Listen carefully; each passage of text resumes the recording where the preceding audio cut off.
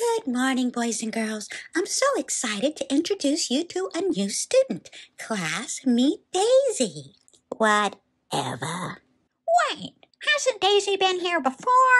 I'm pretty sure I recognize Daisy. She was the one going, Daisy doesn't want to be here. Still don't. Yes, I should have said reintroduce Daisy. She came here once, but didn't come back again after that. Now her people have convinced her to give it another try.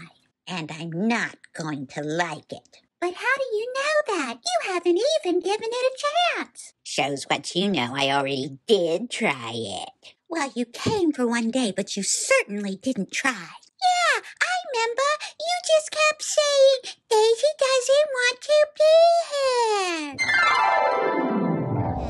Class, say hello to Daisy.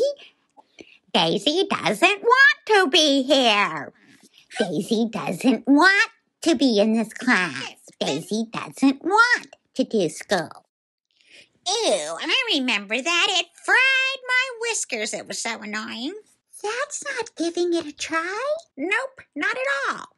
Duh, I was there, wasn't I? You have to do more than just be there. Just because you show up doesn't mean you tried. Teacher, maybe seeing the principal will help her. Yeah, she needs to see the principal. Principal?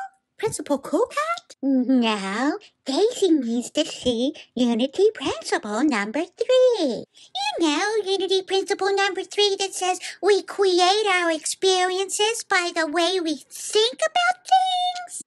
Oh, that kind of principle. Principle number three says, I create my experiences by what I choose to think and what I feel and believe. I don't get it. Well, it's like this.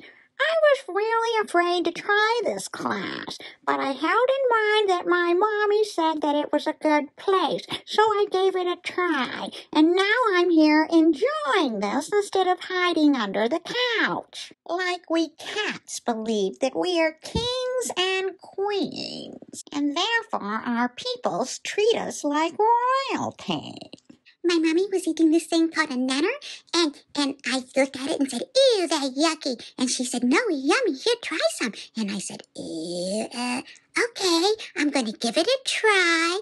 And I did, and it was so yummy, and now I have a new favorite food. It's all in your attitude. Do you choose to look at it as something that could be good, or do you already decide it's yucky? We can choose to create our world with a positive attitude, or we can choose to create our world with a negative attitude. And that choice makes such a difference in the way you experience your world. I think I get it.